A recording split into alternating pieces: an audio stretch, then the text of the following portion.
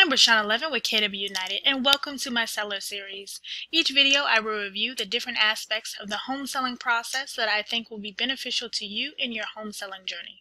Be sure to watch my webinar on selling a home. Let's get started. Today's video is on the big ticket items that buyers want to have been replaced within the last seven years or less. They want a new kitchen, appliances. They prefer stainless steel, new flooring with hardwood, laminate, roof, and HVAC system. So in their mind, if they have to go in and take out a kitchen, it could be depending on the home size and what they're planning to do, that could be up to 30,000. Flooring in a home, depending on where they plan on replacing it, if it's old, up to 15,000.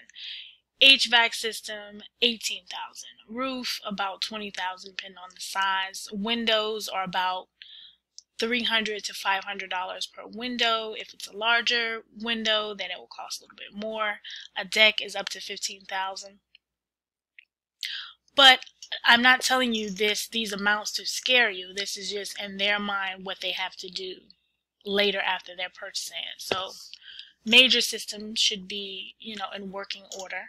Um, but let's talk about your home value and whether it makes sense to update these things before you sell the home. I'm ready to assist you with getting your home ready for the next home buyer. I can be reached at 240 284 4114. Thank you for watching.